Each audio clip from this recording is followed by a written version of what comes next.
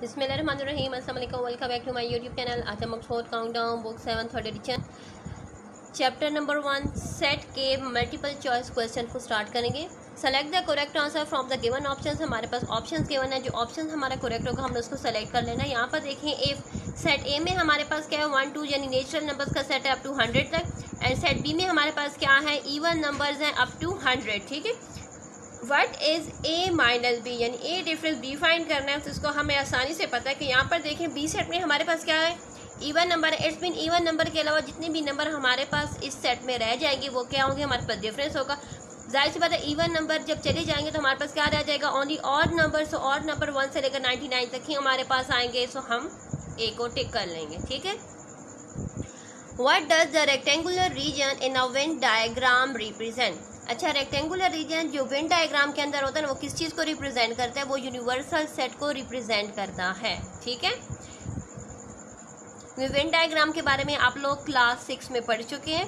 पूरी वन सी एक्सरसाइज आप लोग सॉल्व कर चुके हैं तो आप लोग को अच्छी तरीके से अंदाज़ा है कि वेन डायग्राम किस चीज़ को रिप्रेजेंट कर रहा है। If universal set is A B C D E and F A set में हमारे पास B C and D sorry A B C and B set में हमारे पास C D and E what is A complement union B complement is तो चलिए, मैंने इसको register पर solve किया और आप लोगों को मैं शो कर लेती हूँ ताकि हम लोग जल्दी से आगे से चले जाएँ।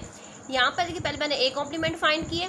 U minus A universal set में से सेट को मैंने माइनस किया तो मेरे पास आ चुका था डी ई एफ़ फिर मैंने बी कॉम्प्लीमेंट फाइंड किया यूनिवर्सल सेट में से बी सेट को माइनस किया तो मेरे पास क्या आ चुका था? B D and F sorry A B and F अब मैंने क्या करा था? A complement junior B complement so A complement and B complement का मैंने यूनियन लिया तो मेरे पास आया A B D E and F यानी इस सेट में सिर्फ़ सी मैसिंग है एफ़ तक।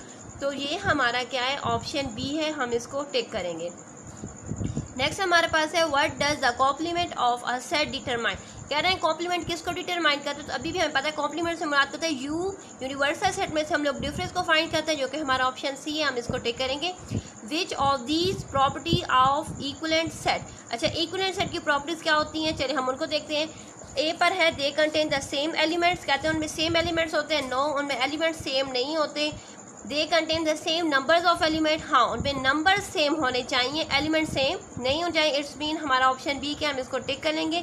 They are null set no null set भी नहीं। They can not be repair in one to one correspond so ये भी हमारा फॉल्स है। सिर्फ़ और सिर्फ़ ऑप्शन बी हमारा ठीक है। इसके साथ हमारा चैप्टर कंप्लीट हो चुका है। काइंडली मेरी वीडियोस को लाइक सब्सक्राइब ज़रूर किया करें। अल्लाह हाफिज़।